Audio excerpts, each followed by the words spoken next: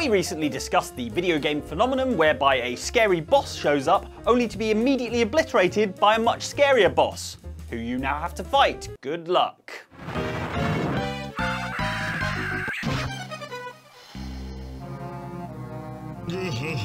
Turns out this is even more prevalent in video games than even we initially suspected, as you, the dashing and debonair outside Xbox viewers, had plenty more suggestions of your own for tough looking baddies we never got to fight because they got smashed flat by something much, much worse. Here then, presented for your enjoyment, are seven of your most popular suggestions. Enjoy and beware spoilers for the following games.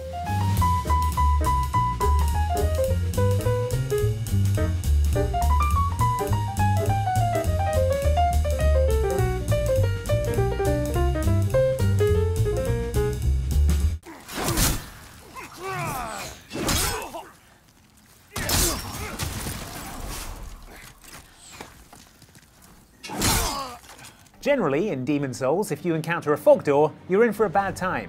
That's because behind these fog doors lie bosses. Bosses such as Leechmonger, who is not, as his name suggests, a merchant who will provide you with a nice pound of fresh leeches at market price, but rather a horrible pile of thousands of leeches that wants to kill you. Maybe put a sign outside clarifying that next time.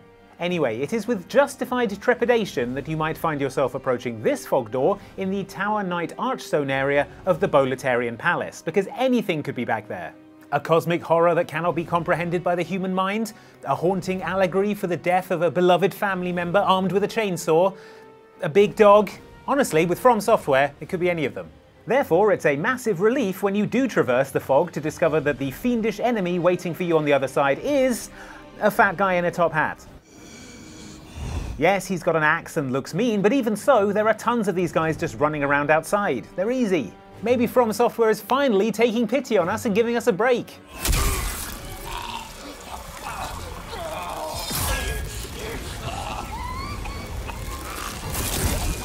Oh.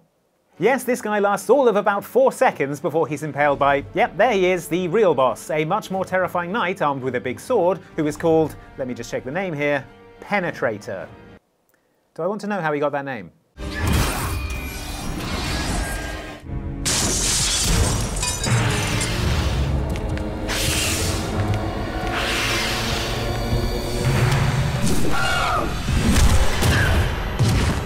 He's not my favorite choice for a bodyguard, but oh well. No need to worry. He knows who his masters are. As everyone who has played one will know, the most precious commodities in Resident Evil games are guns and ammunition. They're so in demand that people are practically breaking down the doors of gun shops to get at them.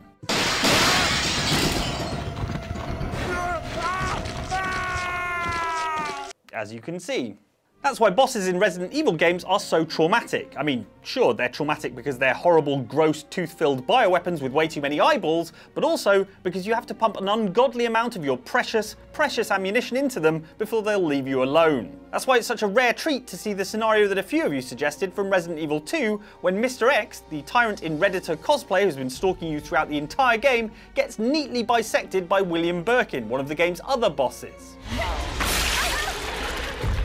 And then Birkin leaves, meaning you don't actually have to fight him. Score!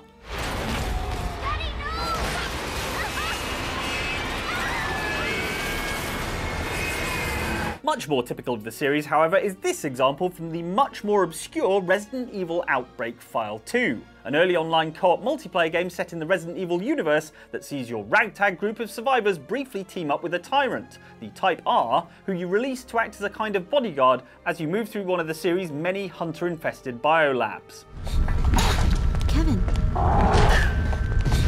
Surprise, surprise, however, the tyrant stops being friendly after about 10 minutes and it's back to fleeing in panicky terror.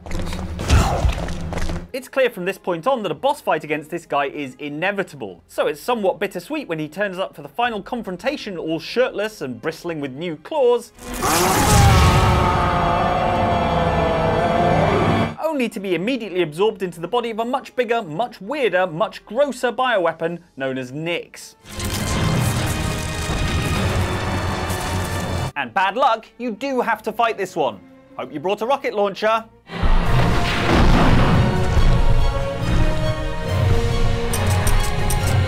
Okay, well, I'm out of ideas.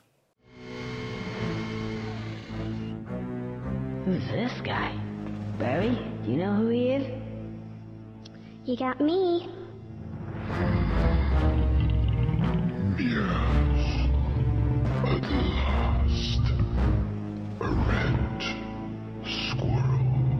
Conker's Bad Fur Day is Rare's parody of their own mascot platformers, and as such, they were free to come up with more unusual and ridiculous bosses than you'd normally expect in this kind of a game. Sweet corn is the only thing that makes it through my rear. How do you think I keep this lovely grin? The jury is still out on whether this was a good idea or not. A more traditional enemy is the Panther King, who sounds like a Netflix documentary about a man who owns and mistreats way too many panthers, but who is actually the game's main antagonist. He's a regal jungle cat who comes up against everyone's favourite foul-mouthed squirrel because his table is wonky, and his top scientist comes to the conclusion that the best replacement leg would be a red squirrel like Conker. Gentlemen, Yes, my liege.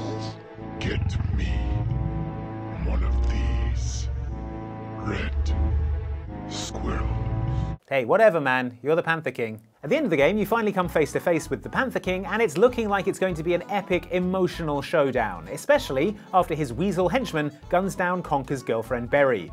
Adios. What the? Hey, mind where you... s- Berri? But right after this bafflingly graphic bit of violence, the Panther King starts to feel ill. Remorse, perhaps, for his crimes? Guilt gnawing away at his insides? It's getting worse. Nope, it is in fact a chestburster from the Alien films gnawing away at his insides in a much more literal and graphic sense.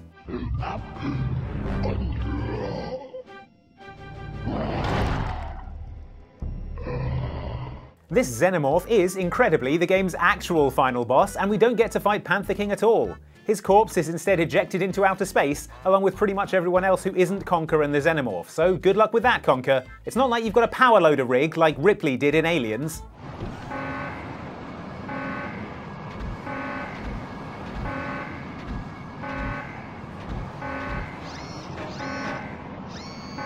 Oh, my mistake.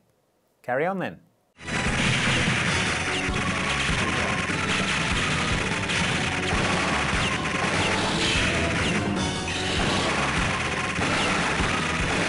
Metal Slug was a series of side-scrolling shooters in which you ran through battlefields, mowing down enemy soldiers and occasionally mummies, because I guess you got lost somewhere back there? In the first Metal Slug game, your main enemy is General Donald Morden, the leader of the rebel army you've spent the whole game fighting, and who serves as the game's final boss. It's a tough encounter in which Morden is armed with a bazooka and an attack helicopter, using both with deadly efficiency to try and get revenge for all those mummies you slaughtered. They belonged in a museum. As such, when playing the sequel, Metal Slug 2, later released in improved form as Metal Slug X, you might think you know exactly what to expect when you reach the end of the game and are greeted once more by General Morden, who is laughing atop a tank shaped like a hat. This is the point at which you're expecting a rematch with the General. Unless you've read the title of this video. Or watched any of the three preceding entries. But even if you had done that, you still might not expect what happens next. Several aliens appear and kill Morden's henchmen, and then a giant UFO flies into frame, blows up his hat tank, sucks the general in with a tractor beam, and then immediately starts to kick your ass with high-tech alien weaponry.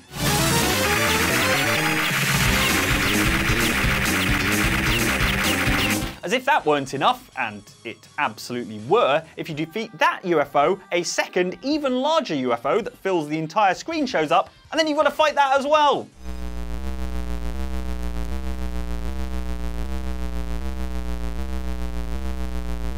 Look, I get these are arcade games designed to hoover coins out of children's pockets, but this is getting ridiculous.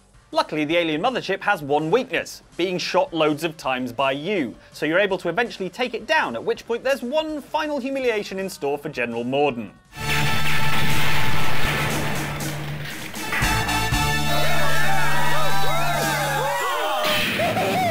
Looks like he got more than he bargained for. I'm Pretty sure he's dead. Look, we all grieve in different ways, okay?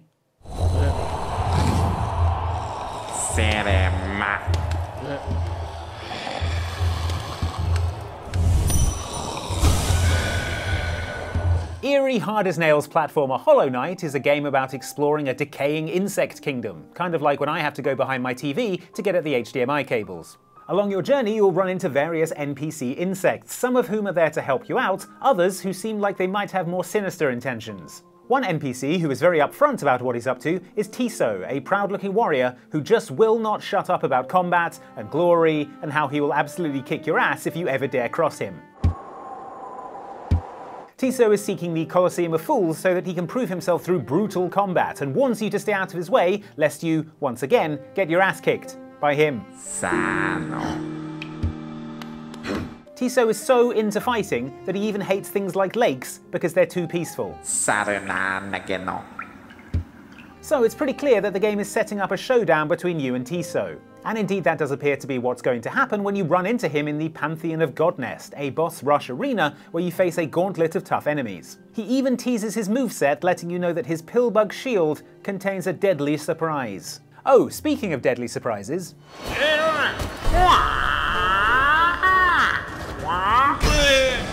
Yes, regrettably, Tiso gets sat on by a big bug called a Brooding Mawlek and dies, so we never get to face him. Instead, we have to fight the Brooding Mawlek, who, to be fair to Tiso, is actually a lot scarier and pointier and fires lava out of his head, which, I mean, I don't know what tricks Tiso had up his sleeve, but I doubt it was that.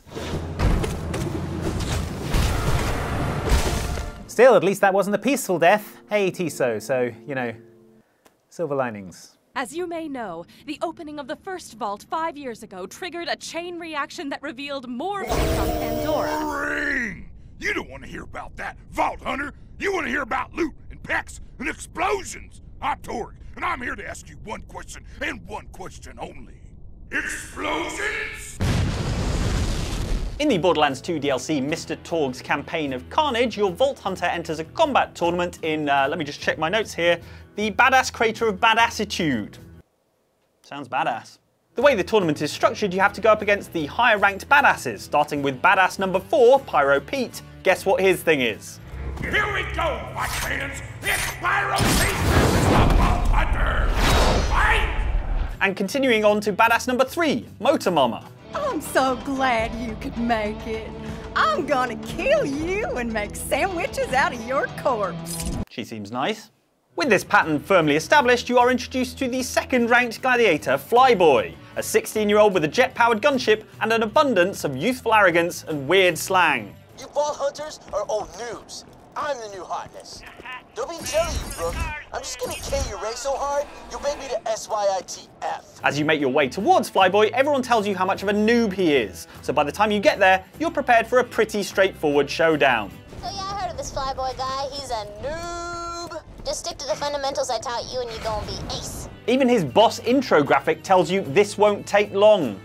This is where it ends, you TPR. I'm gonna DT my buzzard with your goddamn spine. Graphic, you don't know the half of it. That's because seconds later a rocket comes, well, rocketing into frame, blowing up Flyboy's gunship and sending him crashing to the ground below. Holy fuck shit!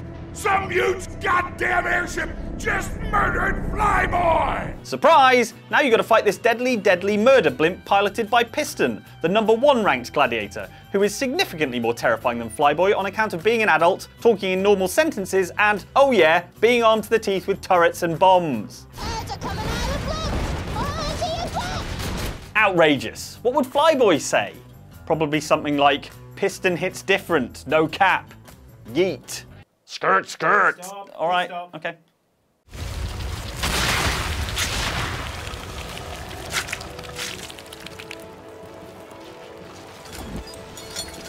We were already a little afraid of Final Fantasy XIII boss Zenobia the Butcher on account of her being called Zenobia the Butcher. You don't get that kind of nickname by doing charity work with sick orphan puppies.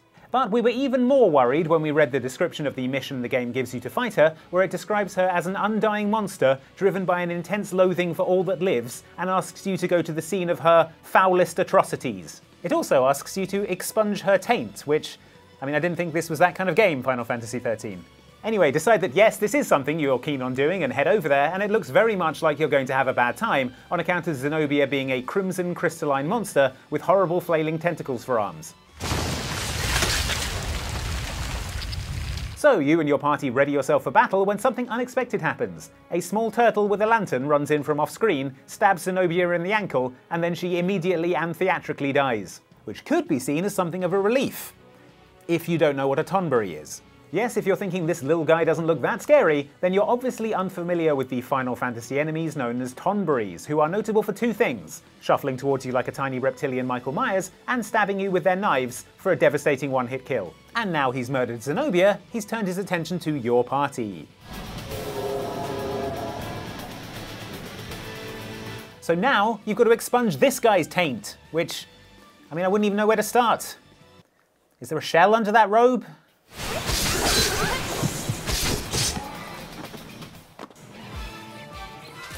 That's it, video done. Thank you so much for watching it. Please do like and subscribe if you enjoyed the video. Uh, if you'd like a bigger, scarier video to watch, uh, we've got one up here from us at Outside Xbox and one down here from Outside Extra, our sister channel. And hey, if you like what we do and you'd like to support us, uh, please do join the OX Supporters Club at patreon.com slash OXClub. We'd love to see you there. Bye.